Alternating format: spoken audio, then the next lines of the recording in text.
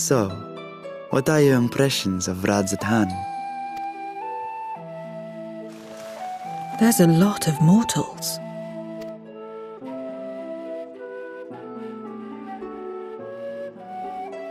Considering your origin, I can see why that might be your first observation. Though they would call each other people, I think. If you wish to know about our fair city, I should be glad to place a guide at your disposal. No need. I'll show myself around. There's only so much about my home I can share with you in return, after all. While I remember some few tales of the past, I cannot speak to their authenticity. But if that is enough, then I will tell you of the events that saw darkness engulf our world. The Contra Memoria.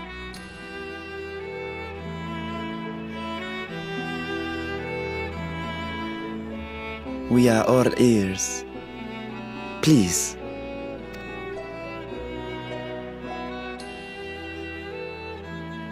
Long ago, light filled the world and all was at peace.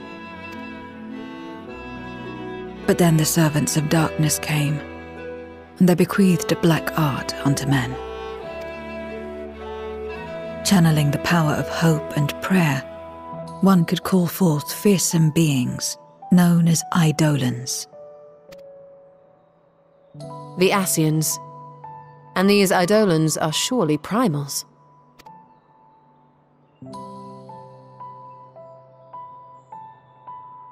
Then you have faced the same, and understand that when an Eidolon is birthed, strife follows. And in such strife, the weak are the first to suffer.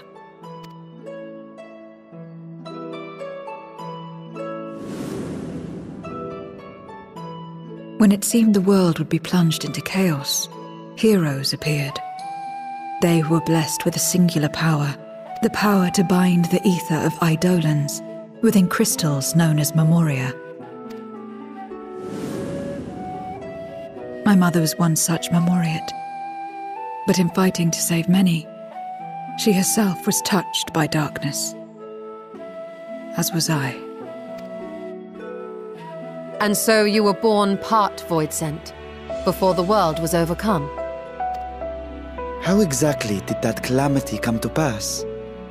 Did the Memoriates not triumph? They did. They expunged the seeds of chaos and restored the peace, only to find themselves seduced by the darkness they had sealed.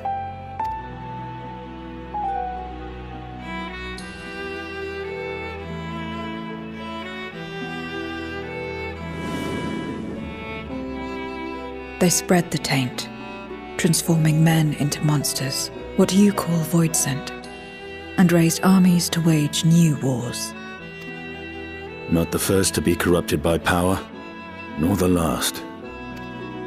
Some defied temptation and held fast to the light. My mother and I among them. For years and years we fought, but it was not enough.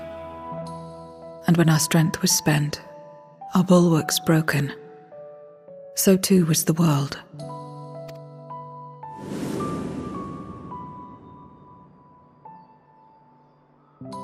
The flood of darkness.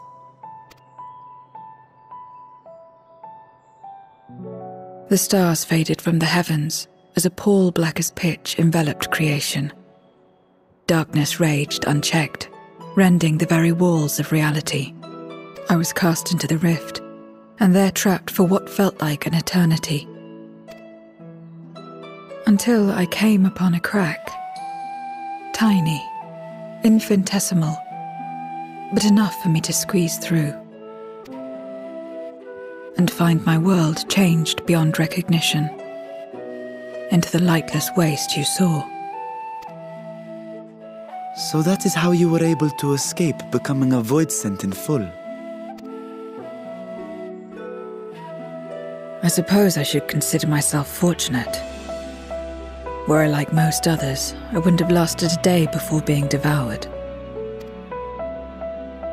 We, the lost, are better equipped to survive in a lost world.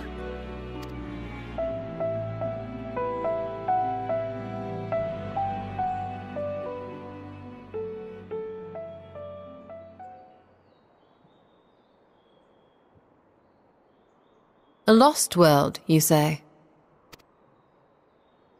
I wouldn't be so sure. The 13th is still there, is it not? What are you getting at? To explain requires that we initiate you into the truth of the source and its reflections. Be warned that this will take a while.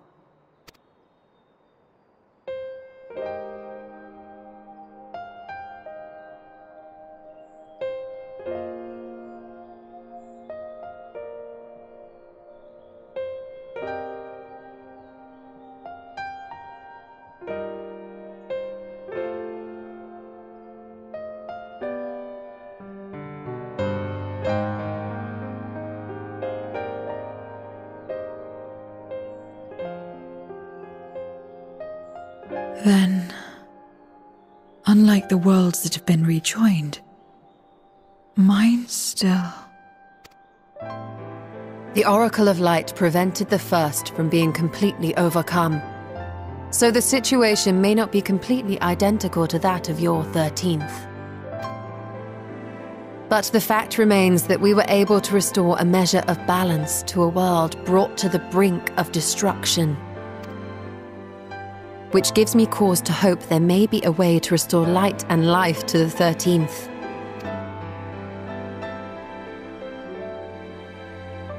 Of course, these are only possibilities. I offer no guarantees. But having experienced what we have, I dare say we are more qualified than most to speak on the matter. Wait, I don't understand. Why would you say these things? As if you mean to. But the sole reason you came to the Void was. To find a dragon, aye. And in light of what we've seen, we'd be fools to strive for more. But we Scions, former Scions, begging your pardon, have a habit of not leaving well enough alone. And old habits die hard, don't they, my friend?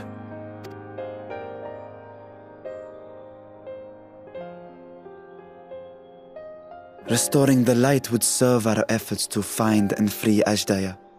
There is no reason not to try.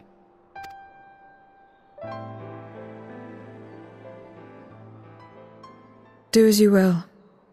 I have no desire to save that world. Be that as it may, we will have need of your power when next we face Voidsent.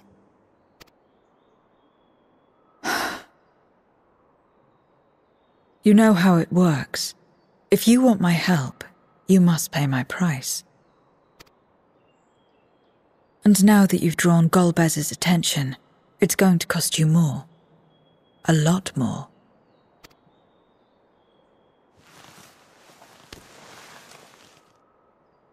I will consider this a deposit.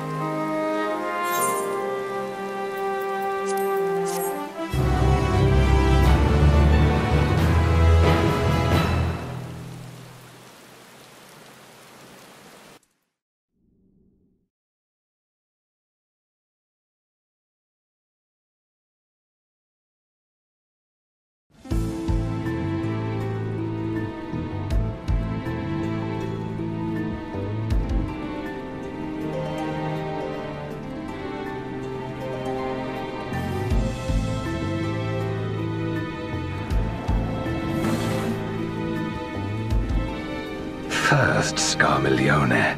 And now, Barbariccia. Useless, the both of them. Twas no lie.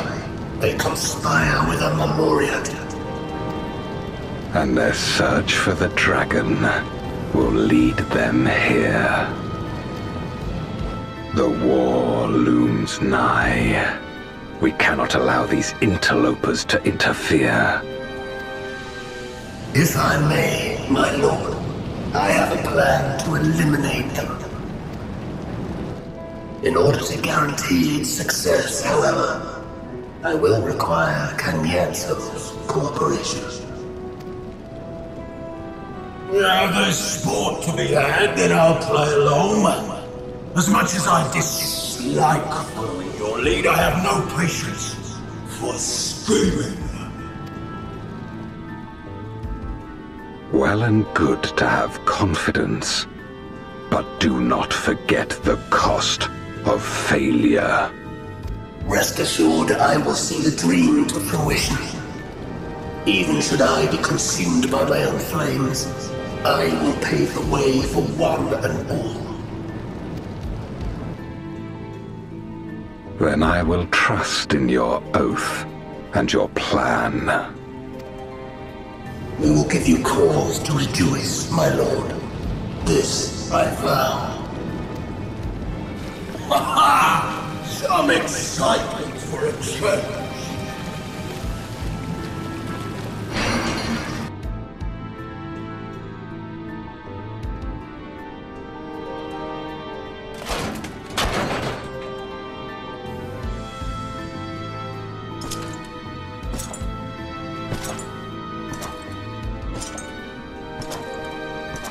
Sacrifice is too great. Even should my four archfiends be lost, I will not halt my steps.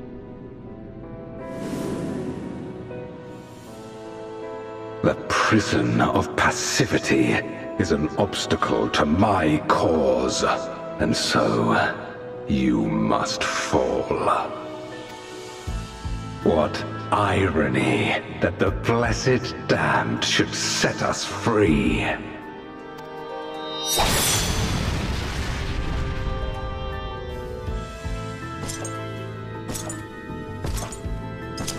As I swore so long ago.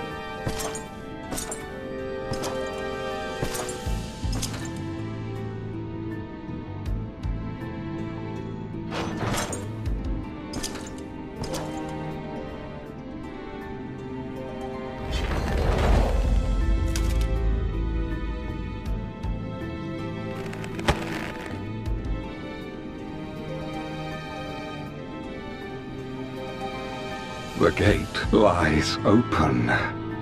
At long last, my ambition shall be fulfilled!